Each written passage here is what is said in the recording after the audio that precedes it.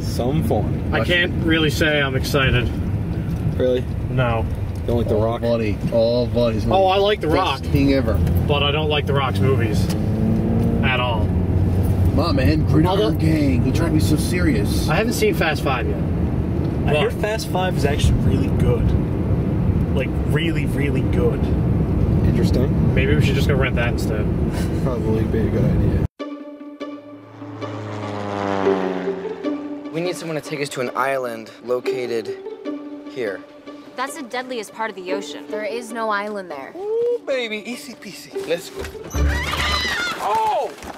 That's my security system. I'd rather take the Titanic.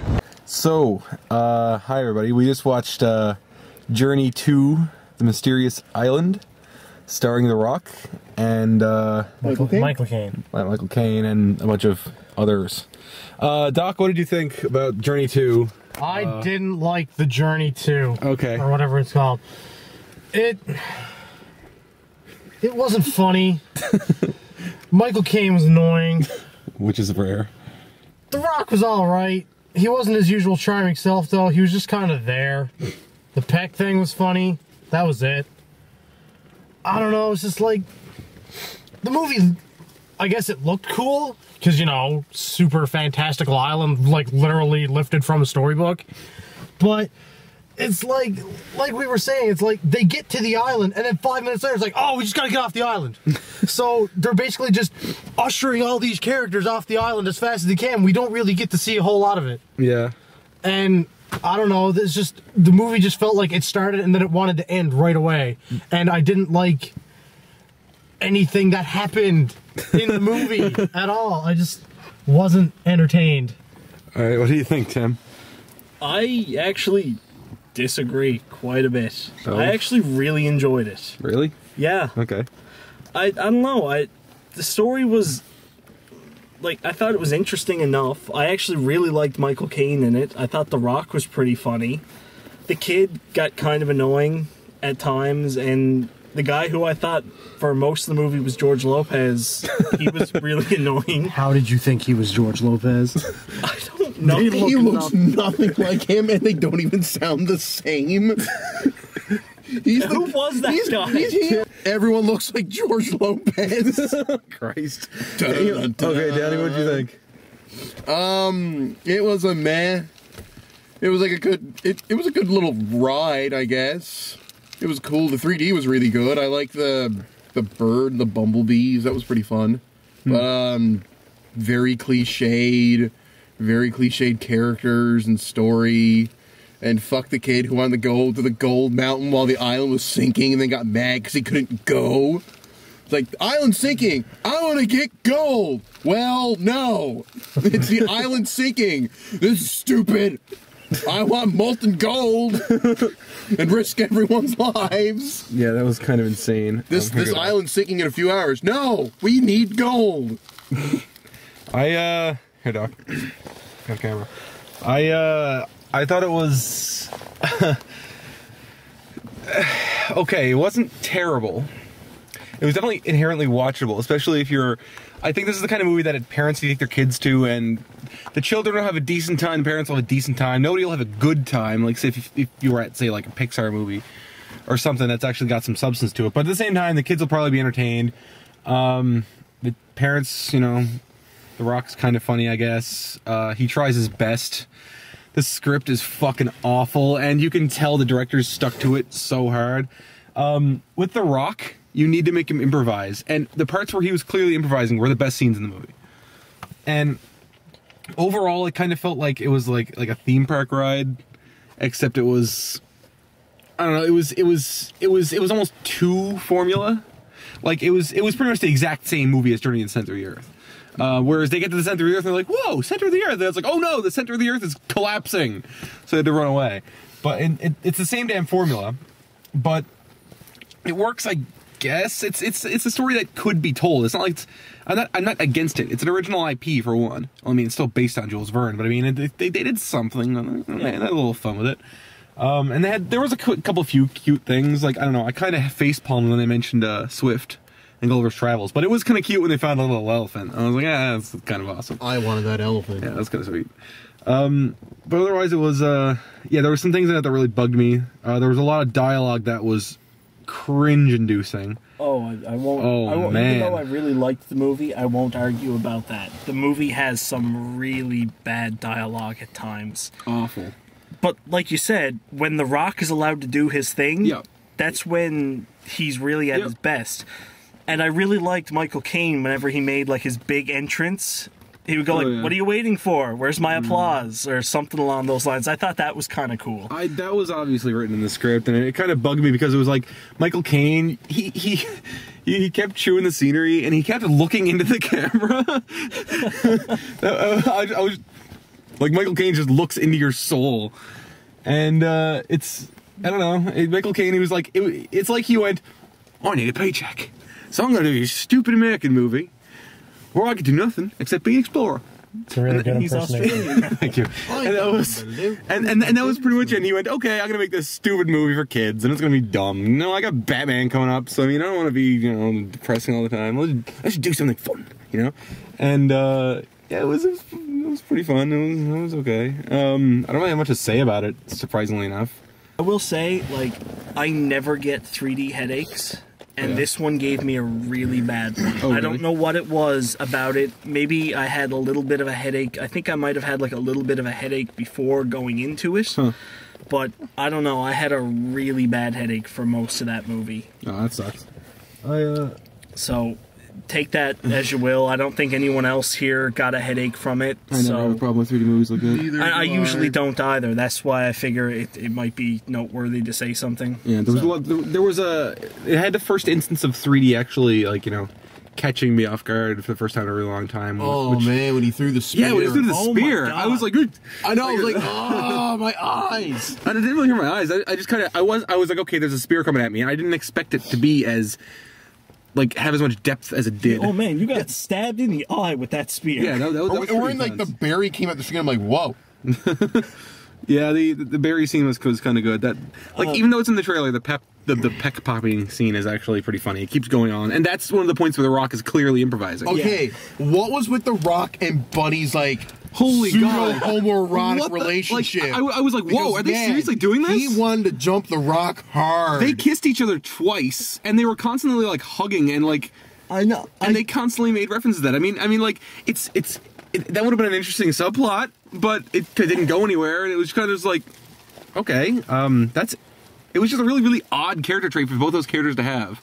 Like he at one point he like when when they were when they were on the bee and the guy was like holding the rock's hips really tenderly. He actually whispers into the rock's ears, "I love you." Like Wow, really? you, you guys never caught that? No. Yeah, he actually whispered, "I love you" into the rock's ears. Okay, they were clearly just having fun then. Oh, that had to have been. So um, I, I do have to call attention to that George Lopez guy as being as having one of one of the worst comedic performances I've ever seen. he was pretty bad. that that was he was clearly the worst part of the whole damn thing. Um, We're walking on eggshells. It's like, yeah, it was it was that's yeah, you the, are. the, the joke is Oh what's man, happening. okay. It was- those eggs were way too big to come out of that lizard. well yeah, They were friggin' huge eggs. and there was a It's lot the of them. mysterious island. Just let let it rock. The uh yeah, back to the George Lopez guy. He was just so not funny and so uncharismatic and so unlikable that it was just like oh man, it was bad. Um he just he wasn't funny.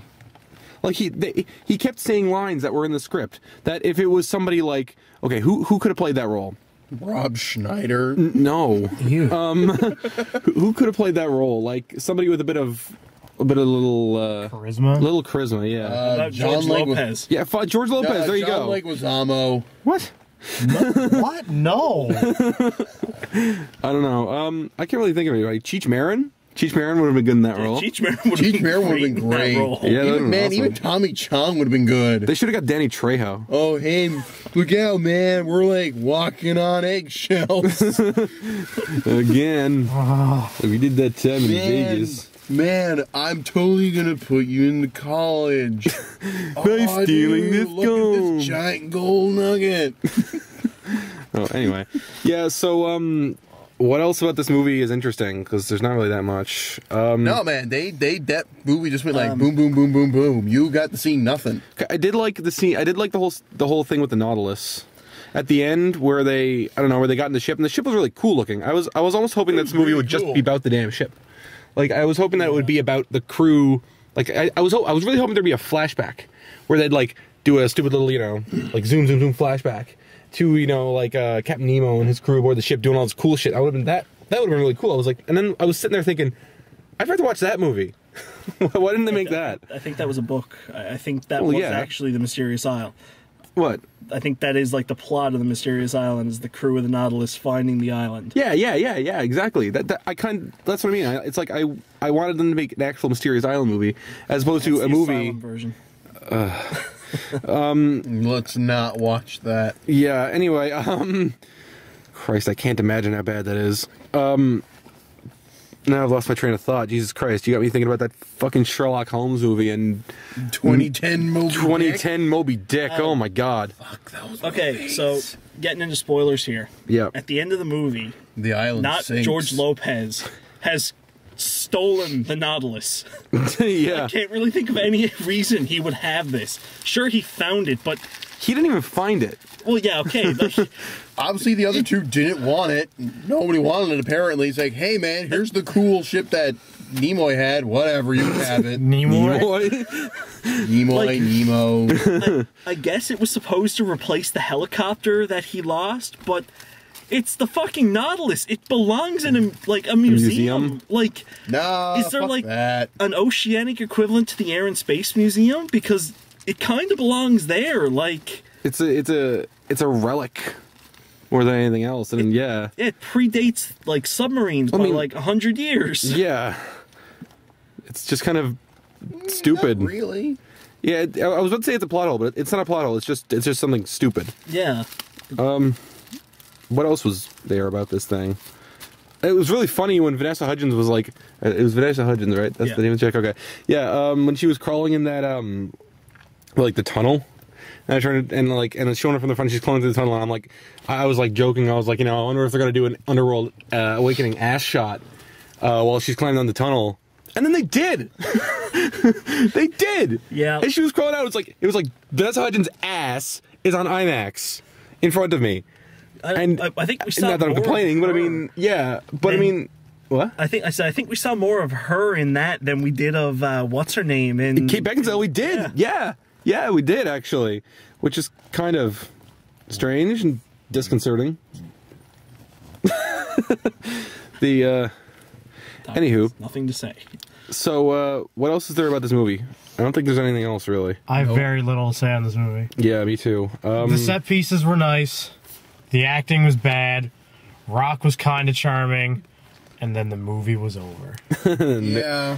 and then nobody thought of it again. What do you think? I Tim? will- Um, I, like I said, I, I really enjoyed it. it. I thought it was fun. I think it's, it's a not s- it's not great by any means, really. Like, but it, it's fun. And I got to give props because it was directed by a Newfoundlander, so that's something Really? at least. Yeah, guys from Gander. I did not know that. Interesting. Anyway, what do you think, Danny? I think it's like a solid kids movie. Kids would like it, but that's it. Good enough.